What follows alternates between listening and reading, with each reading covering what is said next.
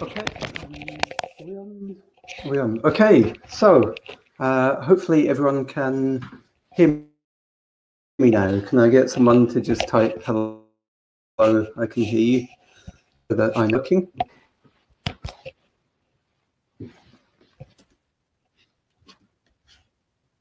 Great, fantastic. So um, thanks very much everyone for tuning in. Um, very glad to be able to give this talk. And thanks very much to the wonderful people at SensiLab for inviting me. Uh, John, do you have a question now?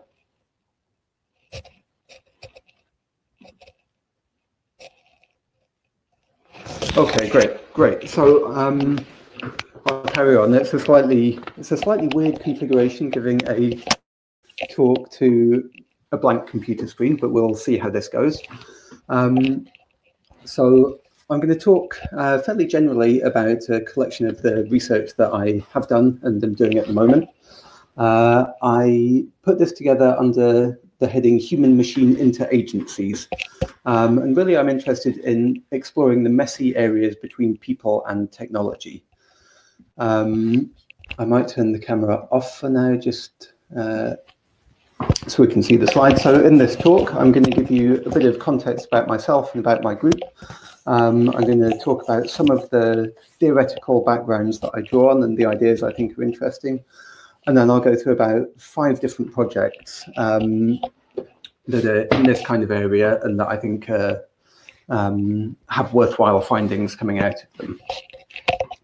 Uh, so firstly, what's the context I work in? Um, I'm really between a few different disciplines. Um, I'm probably closest to human-computer interaction and this general sense of how the humans interact with computational systems. Uh, not so much in the micro interfaces side of things, but the more uh, large-scale um, and uh, networked side of human-computer interaction which starts to relate to what is now being called human data interaction. So how do we interact with the collection, use and reinterpretation of data, which has a lot of questions around legibility and agency and negotiability. So how do we understand data? How do we give ourselves the power to act in data-driven systems? And how do we find spaces to negotiate what is and isn't okay around data? Um, I draw on ethnography a fair bit, so the the practice of understanding people through observation. Um, and I also draw a lot on research through design. So how do we use uh, design methods as a way to ask questions and as a way to understand possible futures? Um, so my core questions really are how do we tease apart these messy bits? Um, how do we understand interagencies? And I'll talk a bit more about what I mean by interagencies later. Um, and how do we develop a context um, um, and how do we bring that context into designing computational systems? So it's not just the technology, it's the way it fits into people's lives um, and the ways that they interact with that technology. Uh, and behind this all is a desire to say, how do we create the technological futures that we actually want to live in? Uh, so technology is changing. How do we make sure that um, us as researchers and the population at large is in a position to shape that technology to fit the kind of future that they would like to build. And this looks at things like ethics and acceptability, and also democratization, communication, and uh, public engagement around uh, technology and new ideas. Um, I do. I can do this because I'm part of a fantastic research group back in Edinburgh called Design Informatics, um, and we have a range of people from uh, designers, ethnographers, um, ethicists, medical HCI people. Um, we cover a very wide range of uh, backgrounds and questions, but the central idea is that we're looking at designing from, with, and by data.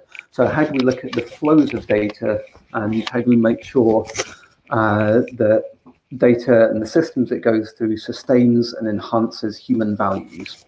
So it's really looking at the network society we're in um, and uh, creating spaces for humanity in that. And this can take a lot of different forms. Some of it looks like uh, design practices that we're used to, so lots of soldering, lots of drawing, lots of constructing prototypes with all sorts of strange materials, uh, quite a lot of participatory workshops with Lego, um, And so it might mean things like making Lego metaphors for blockchains as a way to understand uh, complex computational infrastructures. This is Chris Speed and Debbie Maxwell's uh, block exchange workshop. Uh, this is Larissa Pschetz and Ella Tallyn's uh, Bit Barista, which is possibly the world's first Bitcoin-powered coffee machine, uh, which will sit and negotiate with you about the supply chains behind the coffee and highlight some of those decisions that you're making every time you order a cup. And it might bargain with you and say, I'll give you a free espresso if you clean my drip tray. Uh, so what happens when objects have a bit of agency in the world? Um, in a similar vein, this is another of Lewis's projects, which are hair dryers that will negotiate with you about when you can dry your hair. Uh, when they're connected to the smart grid, they know the price of energy. They can say, well, actually, if you wait 20 minutes to dry your hair, then uh, it's going to be much cheaper. So how do we uh, take these emerging infrastructures and put them into things that the public can experience? This is one of Bettina Nissen's pieces called Trustful, uh, which looks at the idea that we have too many decisions to make about who we trust or don't trust with our data. So can we delegate some of that? So it's a quiz that asks uh, when might you delegate decisions to um, your partner or your mum or your best friend or an AI about what can and can't be done with your personal data. A lot of it's quite physical. This is uh, my student Mark Williams um, creating a smart fabric chair cushion that can sense your bum print. Uh, and apart from the exciting transgressiveness of sitting people on it, getting them to look at the pretty dots and then explaining that this is their bum they're looking at, um, it lets us think through um, if you've got someone's bum print, then you can start to look at their posture and you can potentially look at their uh, emotional state. Uh, so suddenly you're asking, well, who actually gets to see that data and make inferences about it, um, and who has control over that chair? Um, some of it is uh, quite low tech. So uh, these are data comics. It's work I'm doing with Ben Benjamin Bach and Zezhong Wang. Um, how do we use graphic novel elements as a way to communicate complex data uh, to the public and engage them with it? I mean, this is something that we're seeing is very necessary at the moment. How do we get these tricky scientific concepts into a form uh, that people can understand? And sometimes this uh, ends up as physicalization. So this is the WallViz project, uh, where each of these white boxes is connected to a data source. So the blue feather wiggles every time a Just Eat bike is returned uh, to the docking station. So it gives us a way uh, where all sorts of people can prototype interactions with streams of data. Uh, and they can do it in a fun and playful way, and they can do it by making bells jingle and feathers wiggle and all sorts of very direct at-hand stuff. So it, it helps make um, it helps make these abstract things much more tangible and present. So a lot of this comes through research through design. Uh, so design is not just a way to make better stuff. It's also a method for generating knowledge because you make the stuff and you see how people react. And then that tells you not just about how to make the things better, but about how people relate to things. And that helps you understand some of their needs and desires um, and how to deal with them in the future. Um, I work a lot with mess. I think mess is really important. Um, when you come from a computer science background, there's a tendency to want to formalize everything, but actually the world is messy. Um, and finding ways where we can include that mess in the things that we build uh, means that we catch lots of things we'd otherwise miss out on, and we get some of the textures um, and the intricacies of life coming through into systems. I'm very interested in thingness. Um, so the idea that the stuff around us is not just inanimate matter. Um, it shapes the things around it. It shapes the ways that we behave, um, and that even quite inert stuff has a lot of power in the world. Uh, this leads into really the sense of interagency. So as we make things, uh, as uh, as we uh, create stuff that changes the way we are and it changes um, the things that we make change us just as we change them. So we get these interagencies and uh, constellations of effects and cause and effect um, between people, things, and algorithms. Um, Andrew, you asked about uh, lots of typing. I'm not typing at all. So if there was typing Uh, someone has their mic on, and it would be great if they could turn it off. Thanks. Um, and this leads on to a sense of entanglement. So we don't just relate to the things around us, we're quite dependent on them. Um, so we have these codependencies where the things around us need us in order to survive. Um, and we also need the things around us to survive. Uh, so we're not looking just at individual people or individual objects, we're looking at the constellations and the networks uh, of those things. Taken together, I like to put this under the heading human algorithm interaction. Um, it's quite a broad idea, and what I'm really trying to do is map out um, socio-technical systems and look across different scales and different focuses. Uh, so human computer interaction was typically quite small scale. How do we interact with interfaces? It's much broader now. Um, and it started as being quite technological, but now has a much larger social dimension. But then other areas like human data interaction tends to look at larger scales and sits between the technological and social, or data ethics uh, can be even larger scale again, um, but possibly more social than technological.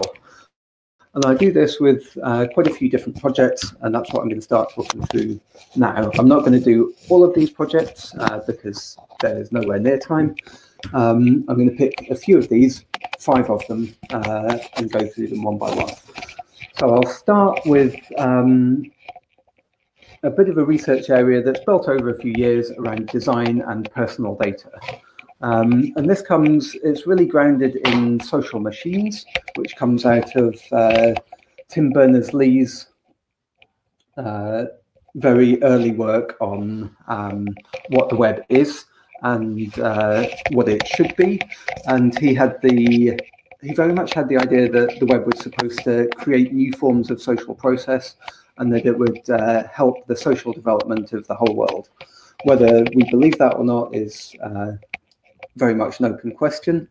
Um, but one of the things that's come out of uh, interaction going online is that all of our interactions are data. Um, and because they're data somewhere, that means that they can be reused and reinterpreted indefinitely.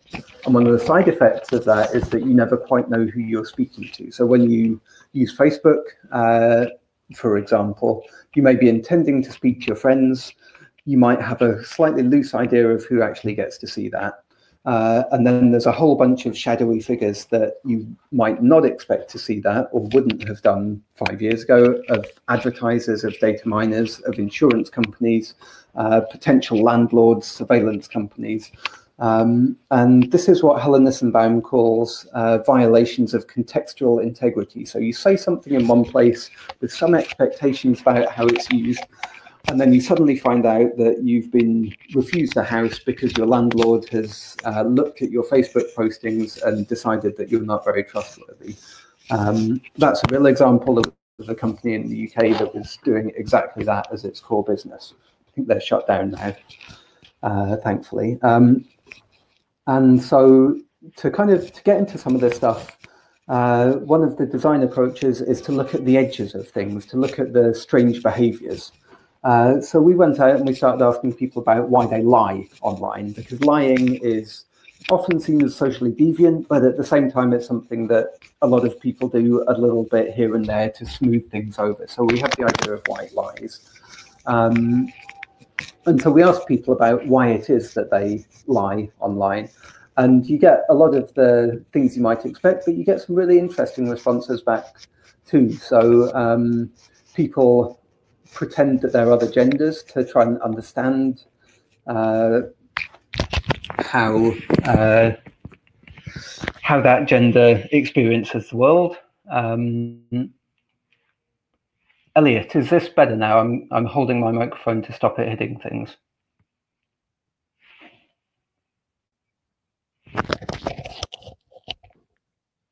Okay, great. Right, I'll try and I'll try and keep that one very still then. Um, and we also see people doing things like role playing as members of hate groups. Um, so they can get a, a, window into their psychology. And when you go and talk to people about this, you find that there's a lot of very creative reasons that people have for lying. Um, and this hasn't been missed by the design community. Uh, there's also a, question about how we use deception within design and how it can sometimes be useful. So we've all seen um, the placebo buttons in lifts that don't actually do anything, but they make us feel like they're doing something, and it makes us feel like we have control over that situation. Uh, so drawing on this, um, a few years back with Max Van Kleek and Amy Guy and a couple of others, uh, we started looking at could we make tools that enlist our devices to lie on our behalf? Um, so we made a whole suite of uh, imaginary tools. Uh, there's the the version of moves that lies about your location. It might pretend that um, when you're actually in the pub, you're in the vegan cafe next door, so that if your insurer is spying on you, um, it looks like you're living a healthy lifestyle.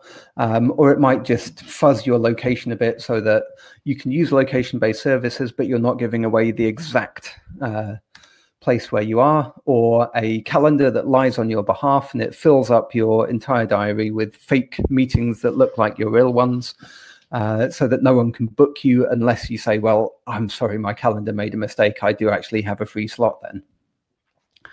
Um, and by doing this, we found, you know, design fictions are a very quick way to get into uh, interesting behaviors. Uh, people really don't like the idea that they lie, even though they know they do it. So if you give someone a button that says, I want to lie, uh, it's quite a psychological step to press it. Um, even if it's a behavior they would do naturally. And they don't like the idea of uh, having a history of lies. On the other hand, they're very happy to lie to platforms like Facebook and uh, to systems that they don't trust. Um, and this leads to ideas like deception by default. So if if we fill uh, all of the output of systems with fake information and we only reveal the true information when we really want to, um, we can kind of we can regain a bit of space for human uh, behavior within this kind of slightly surveilled society we find ourselves in. Um, so that's a slightly playful end. The more serious side of this is a more recent project where we were looking at digital phenotyping. So just as uh, phenotypes come from uh, genotypes, your digital phenotype uh, says something about your internal states by looking at um, the online traces that you leave. Uh, and this uh, came out through some large scale studies, things like looking at location uh, traces from smartphones and inferring when people were having depressive episodes. So you can learn a huge amount about uh, quite intimate states from fairly publicly shared data. And we did a study with a collection of students um, where they ran this kind of self tracking uh, or this data gathering app so we could talk to them about the process and they you find things like they turn up saying well i don't care if you know about my uh, battery level. But then when you explain to them that actually you can see when it was discharging overnight and that means we can pretty much guess that they didn't make it home that night and maybe they got lucky and stayed out um, by demonstrating the inferences that people can make um, they had much uh, a much better basis to make decisions about what data they were happy to share and when. And so this led into adopting or or translating um, a framework for medical interventions called the Theoretical Framework for Acceptability into looking at digital interventions. So there's about seven aspects, I've only got five of them here, um, to look at whether systems are acceptable to people or not. Um, so students in the context of mental health were very worried about what their lecturers and tutors might find out about them and they were a lot worried about the loss of autonomy and dignity uh, that comes with that. Now if you can find me a lecturer who actually has the time to go through and look at the behavioral logs of all their students well i've got some marking that they could do for me. Um, but it, it also says that you know we need to be when we're designing systems that collect data we have to be transparent about what data is collected collected and who has access. And we have to find a way to communicate that to users in a way that makes sense. Um, they're also very concerned about things like coherence. So if they don't see the relation between some data you're collecting and the target you have of increasing their well-being, then they're going to be reluctant to share that data. And that means not just explaining why the data is being collected, but explaining how you interpret it um, and developing a sense of uh, consent that is about the inferences you make, not just the raw data on its own. Um, so altogether, this if we're looking at being able to collect data at a large scale in a human-friendly way, uh, we'll get much better data if people are engaged with it we know that people are happy to lie to systems that they distrust. So it's very useful to bring in acceptability as a lens for looking at um, barriers to adoption and the things that might cause people to mistrust our systems. Um, and we can use design approaches to make more acceptable data collection, which should give us better data that helps us make better decisions. So that's project number one. Uh, project number two is called Chatty Factories. Um, this is a collaborative project between about five universities, Cardiff, Edinburgh, Lancaster, uh, Essex and Nottingham, and it's looking at how we um, how we might think about manufacturing stuff in the future. Uh, so rather than the idea that the designer knows exactly what a product should be and you put that out into the world, um, because it's now relatively easy to put sensors into objects, we can look at the way that things are actually used in practice. So we can collect this uh, in the wild uh, usage data and use that to develop design insight, which is then fed into the factory for rapid manufacturing changes. Um, and we can really close the loop between um, ideas of what things should be and actually making stuff that lives up to that. Uh, so it's um, medium scale and it sits somewhere between the social and technological end of things. Um, my part in this is developing a sense of digital ethnography. So, how do we make sense of uh, sensor data in a way that tells us something useful? Uh, so, our first study was with a collection of smart speakers. These are Bluetooth speakers, but they also have an accelerometer in um, that gives their orientation and a sense of how much they're being moved around. Um, and they stream that and data about how they're using they're being used back to a researcher somewhere else. So we get this remote view of what's happening to this object. And this means um, that we can start asking people what's happening at interesting moments. So if we see something in the data traces that we don't quite expect, it gives us a moment where we can contact them on WhatsApp and say, hey, can you take a photo of what's going on? Or can you take a video? Or can you tell me about what's happening? And the reason that we want to do this is I don't want to put cameras inside objects that go into people's houses. That's horribly creepy and invasive. If instead we can enlist the participants to help capture and make sense of the data, then it means we can get these little glimpses into life. We can get some quite rich context about what's going on. We can see the way that things are being used and the way that they fit into the stuff around them. Um, but we're not really doing surveillance and we're in a position to ask the participants uh, to explain what's happening. And it means we find things like uh, this photo came out of seeing some quite strange data traces, and we asked the participant what was going on, and they said, "Well, uh, this uh, spherical speaker that you've designed is absolutely terrible because it rolls off my uh, kitchen surfaces." Uh, so they wedged it behind their kettle, and that's why um, we saw it rolling and falling off and then getting a bit warmer for a while. Uh, so the, the data gives us a way to develop windows into people's lives with their participation. And we get to see things like the speaker on the left has been annotated with the gestural commands it has. Um, they can tell us about the times when things have gone horribly wrong or when they've or we get to see that they've kind of made these objects a bit their own and decorated them. Um, and we can build up these quite rich pictures where we put together um, text and mobile conversations with photos, with data traces, and we can then start to label it up. And this gives us a great um, possibility for doing machine learning over this data and developing, you know, good, a good sense of what activities people do um, and being able to train models to spot those things and to spot new things around them. Uh, so this really showed us that having conversations at the right time is crucial um, because by the end of the day, someone's probably forgotten what was going on in that interesting interaction. And we, we've seen this come through a few times in the data. People didn't mention stuff in the debrief um, at the end of the experiment which we did manage to catch um, through the data and through the photos and through the conversations. Uh, so, and we also get a sense that we can enlist things to help us understand people. Uh, so by putting objects around people, um, they're more sources for data collection, they're more sources for interaction. Um, and uh, I mean, th this relates to the idea of thing ethnography by Elisa Giaccardi and Chris Speed. Um, but we can find ways to do this. Um, and if we collect data about the object rather than the people, then there's ways to start making this data collection informative, but without being too invasive. And this leads into what I'm calling entangled ethnography. Uh, so it's using sensors in the object and data collection um, to capture data, then carrying out some kind of machine learning so you can do it at scale and uh, some kind of visualization and analysis so that we can make this data uh, usable by ethnographers who are not always data scientists. And they're then in a position to have conversations with the participants to help interpret the data. Um, they can work with the algorithms um, to do some assisted sense making. So as they start to label up the data, um, it can tell them what the bits they've missed are or where interesting things might be.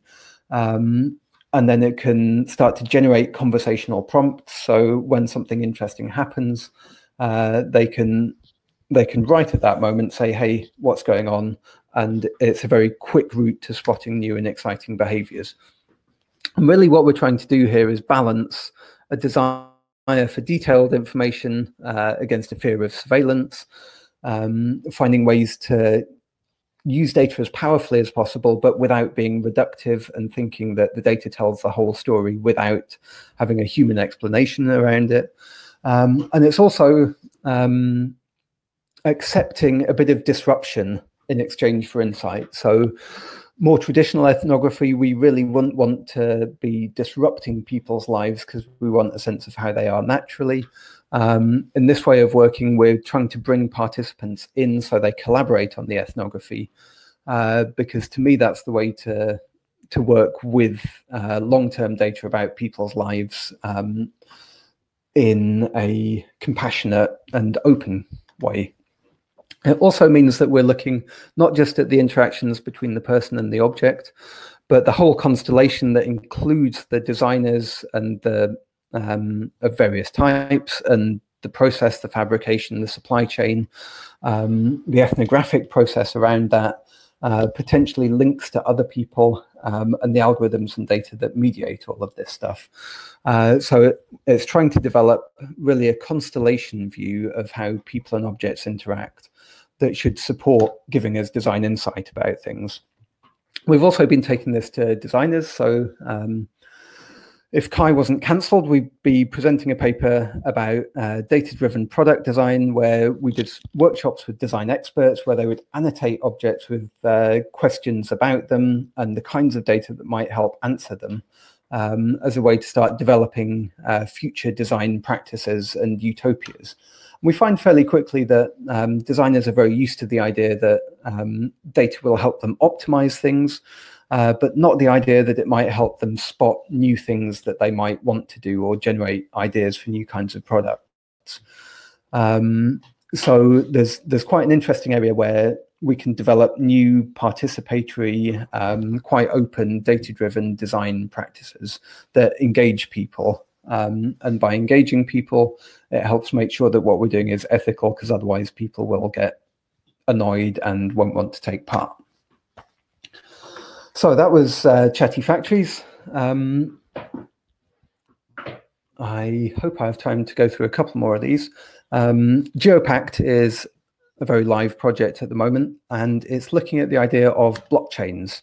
So blockchains are complex um, crypto technical systems. Um, they're relatively large scale.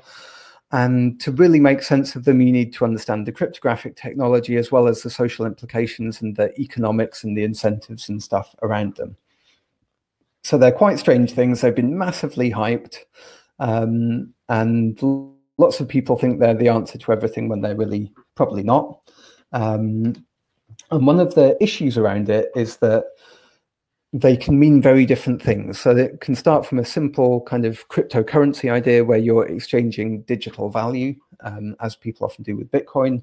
Um, and it can go through things where you start programming smart contracts that allow you to make promises uh, with some degree of trust, and all the way up to the slightly more um, wacky end of things where people are saying, well, actually, we can replace all of our laws with smart contracts and we can create a distributed autonomous society that is entirely governed by code. Um, so actually grappling with all of the things that sit around this technology is really difficult.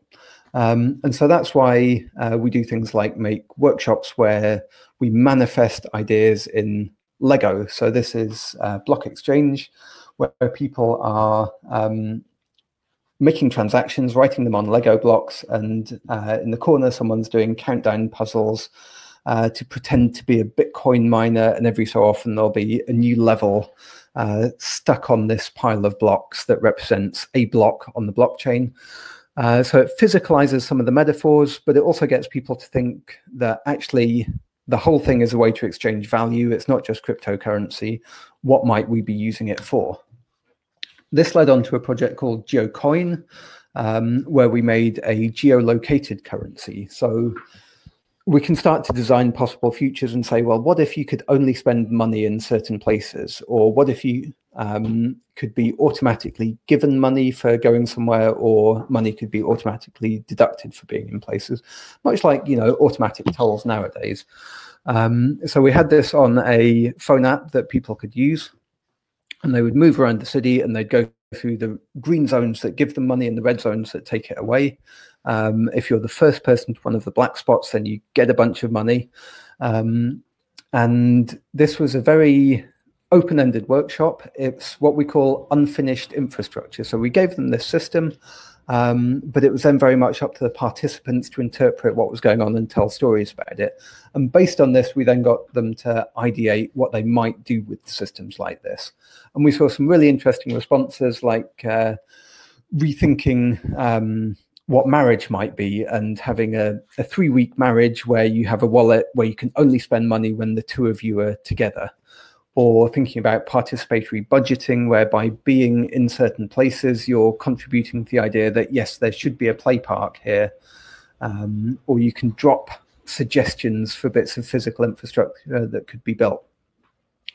But by actually creating this as a as a simple software system that works you run up very quickly against uh, things like people with newer phones, their location updates quicker, and they get more money out of using this system. So you see the edges of the infrastructure and some of the inequalities coming through quite quickly. Uh, you also realize that when you do a transaction on the Bitcoin blockchain, it's about 10 minutes before it's on the blockchain and another 10 minutes before you can really believe it. That's one of the idiosyncrasies of the system. So we started having to show people their their real balance and what their balance might be if everything goes to plan. So you start to see um, the funny bits around the edges of the infrastructures and you manifest them to people so they can start understanding them and working with them. This has all led on to the GeoPact project, which is taking the idea of um, networked IoT devices that know where they are and saying, supposing instead of having all of these competing companies that were doing things. Maybe we can have uh, some smart contract based things where you can negotiate with the devices themselves. Um, and we can have an ecosystem of uh, kind of intelligent objects that know where they are, and you can make agreements with them about different things. Uh, so when I say smart contracts, really what are smart contracts? They're kind of digital promises and conditions. They look just like um, a, a, programming language. It's written in a custom language, Solidity, or there's a few other options. Um, a lot of them are of the form if some condition, then some action. Um, but and the the special thing really is that they're distributed and they're transparent, so everyone can see exactly what happens in a smart contract. So you can check it's doing what you think it should be doing. Um, and you can see who's participating. Um, and you have a certainty that everyone is going to agree that when the program's gotten to a, st- a, certain state, that's the state it's gotten to. So they give you some level of trust in the operation um, of the program that someone's written. Uh, and if we look at stuff that's happened on the blockchain, there's lots of work done around what the actions should be. So there's lots of stuff about if these things happen, then transfer bitcoins or change ownership or all sorts of uh, effects in the network. But it's much harder to get the conditions in because blockchains are formal systems, they're not connected to the world. Um, so what we're interested in is supposing we can bring location in here and we can have conditions like if the train is a bit late then i want a partial refund or if it's very late then i want a full refund. Um, so it, if we could do some of these things uh, it would mean that rather than having to go back to the train company and ask for refunds it would happen automatically um, and also, we could have more flexible ideas about tickets. So it's not necessarily this train and that train, um, but it's a general contract to get from one place to another using whatever collection of transport is appropriate. Um, but we're very keen that these should be things that people can create because that changes the dynamics. And so part of this was talking to people about what's important to them about location. Um, and it turns out that you know location is not just a position on the map. It has a lot to do with who you're with or the kinds of places you are. It has a lot to do with time. If you're going to see a festival um, then it matters not just that you're in that field but you're in that field at that particular point in time. Uh, what's the effort to be there? What's the uh, restrictions around being there? And so through a whole bunch of design workshops we could come up with a library of things within smart contracts where we could in code ideas about things like being co-located with people um, so that we could write them up into smart contracts and we could say things like if i'm co-located with someone else then do something. We embedded these into smart objects. So these are our first generation of smart boxes. Um, and this means we can do things like write a smart contract that says um, i'm going to be a courier. I'm going to collect all of the bits to assemble a car. Some of them have complex security around them. Uh, some of them don't. But I'm going to do this in a way where I'm paid for each delivery and I'm paid at the end, and it's absolutely verifiable what I've done. But I don't have to go through a company like Deliveroo uh, to prove that. So the boxes give people instructions. Um, there's all sorts of different kinds of physical handovers where boxes being next to each other means that they will open up and you can transfer goods between them, or there's a physical verification that people do to say an exchange has happened. They can be attached to smart transport. We can uh, show people the state of the system. We can show them what needs to happen next in the contract. And also on the right here, um, what is being written to the blockchain as this goes on. Um, and this means that we can go into public and talk about these quite abstract computational architectures in a way that makes sense to people. And we can uh, keep a sense of surprise by filling some of the boxes full of chocolate.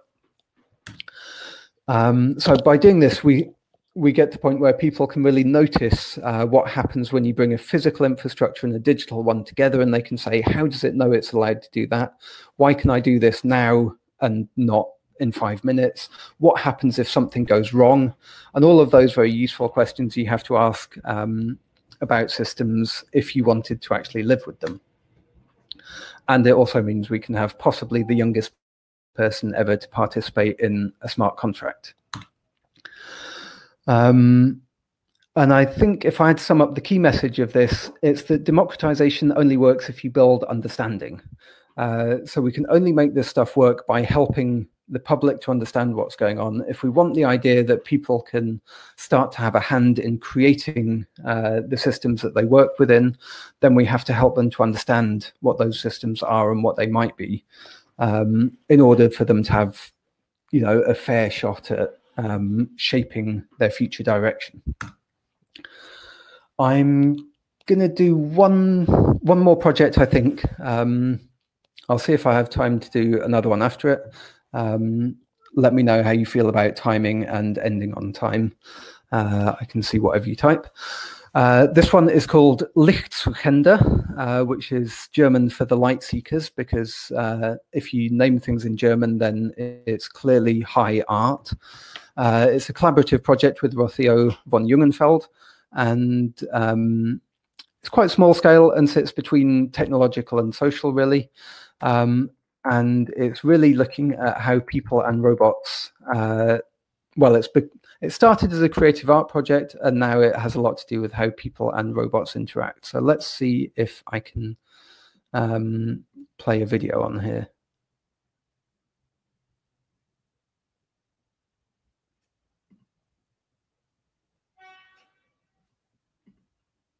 Maybe not. Let's try this one.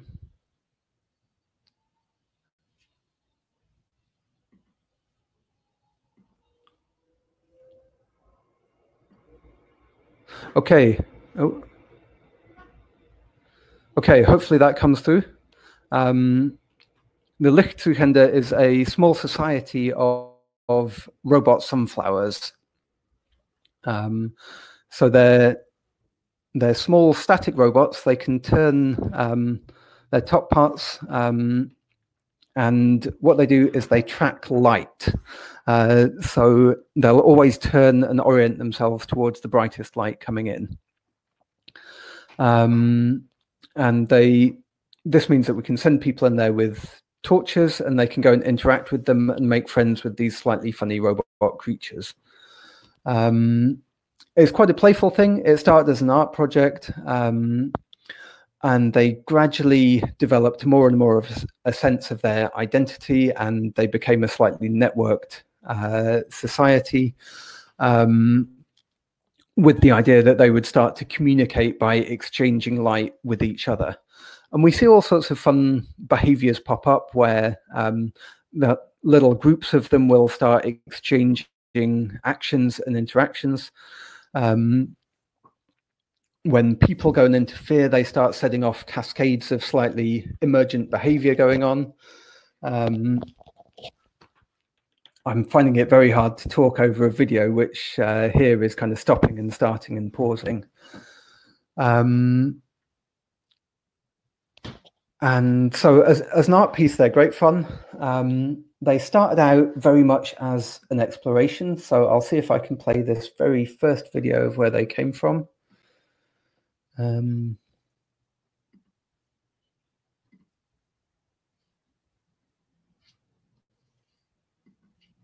oh, I seem to have uh, broken the software. Let's try this one.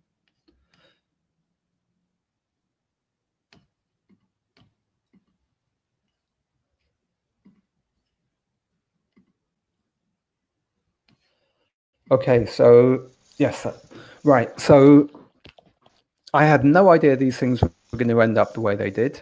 Um, it started from just playing with a few light sensors, a bit of uh, strip board, two servo motors and an Arduino, and lots of toothpicks and glue.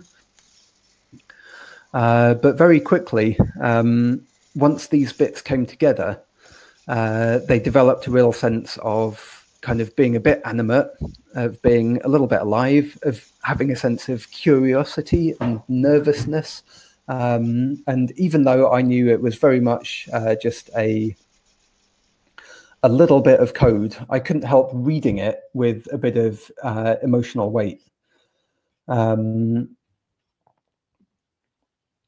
so, and that really intrigued me. I, I knew that it was uh, a very simplistic digital system, but I responded to it emotionally. Um, and so we started thinking, you know, how do we develop that and how do we start exploring that? Another key moment happened uh, in this video when we had several of these things together. Um, and we found this slightly surprising thing. Um, if I skip forwards a bit. We'll see if this works. Um, but when we when we brought two of these uh, robots near to each other, they would start to go into this very uh, strange, jerky dance. And it really felt like a territorial thing, like they were saying, No, you're too close, back away, back away. So it read quite defensively.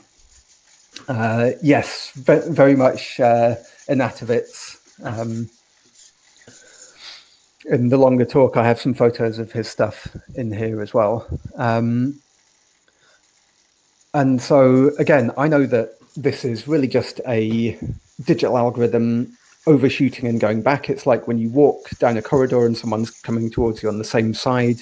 Uh, you both step to one side and then step back again um, as you try and negotiate a way to go forwards. Um, but it, it still reads um, as, uh, you know, th this is a behavior and there's intention behind it.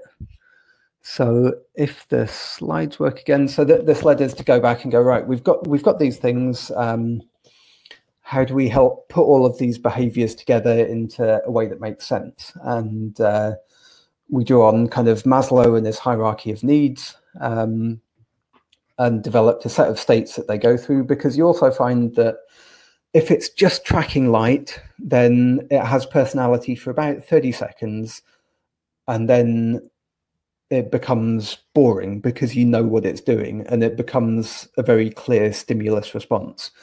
Um, so by helping by putting a bit more of a complex internal state in, they suddenly feel a lot more animate. And this is what means that when we have lots of them together, um, we can see changes in behavior, we can see activity sweep across the society, and lots of interesting things that make it a slightly more compelling piece for people to interact with. Um, to me, one of the interesting bits was we spent a long time saying, oh no, we're not really designing them. Um, we're just helping them be what they want to be. Um, and then over time and some slightly more critical reflection, we realized that that's not really actually quite true. Um, there's bits where we're very clearly, as designers, as creators, imposing our will on them. Um, and then there's other bits where we're very much kind of looking at the emergent behaviors that come out and finding ways to support them and noticing what's going on. And one of the tricky things here is to do this, but without getting too anthropomorphic, without having a sense of, you know, oh, they want to do this. Um, because in a lot of ways they don't want. Um, but that's the way that we would talk about it, and that's the way that we would read it. Um, and the thing that kind of helped us make a bit of sense of this was bring in the idea of imaginaries. So, what are the social patterns that they're uh, following and um, the ways that they're able to relate to each other in the world.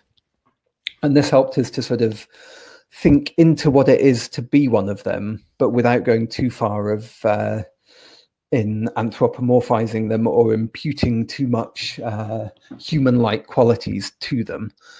Uh, and although this is in the context of a creative project, it's quite useful if you're thinking about designing network systems to have a picture of how they see the world what their umwelt is, what their kind of biosemiotic relations to things are, uh, because that helps you understand the ways in which it might go wrong or the ways in which it might be not doing what you hoped it was going to do. This is also leading into some work at the moment where we uh, filmed lots of people interacting with them um, with cameras on the people, with cameras on the torches, and with some cameras on the robots so we could see what they were seeing and what they were looking at. Um, and this is starting to help us understand what are the physical metaphors that people use when they interact with unfamiliar robots. So it starts leading into thinking about how we might design robots in the future. Um, yes, I, I, think I've covered all of those things.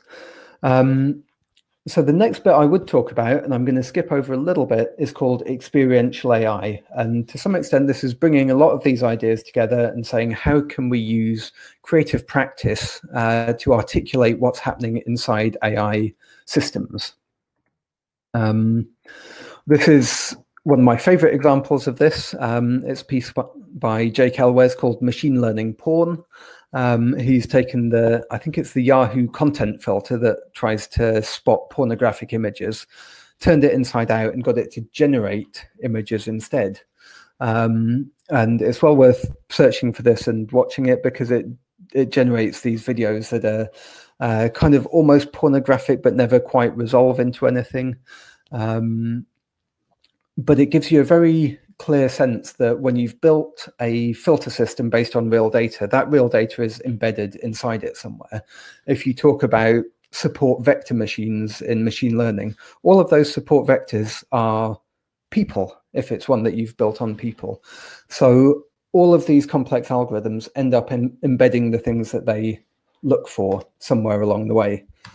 Um, let me see if I can play this just because it's a nice video. Um, this is another of his pieces called Zizi, uh, if it appears. No, that's not going. Okay. Um,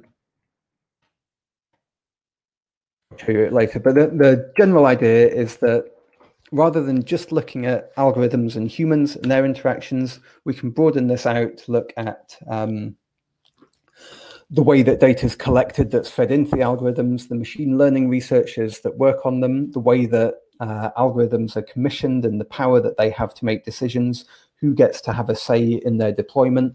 So when we're looking at um, AI and we're asking about fairness and transparency and all those things that we need to to make sure they're doing the right things, it's not just the algorithm, it's the whole context that it's embedded in that's important, going even all the way out to the computation that makes it work, the environmental impacts, um, and the theory behind it, and the imaginaries there.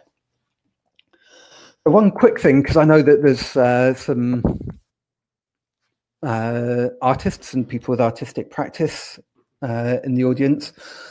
Why do we want to get artists entangled in all this kind of stuff? Why do we want to bring artists in to help us make sense of what's happening in AI and related fields? Um, and my favorite writing on this goes back to uh, Born and Barry and their logics of interdisciplinarity. So when you do interdisciplinary work, it can be about um, breaking the barriers between science and society and making science accountable.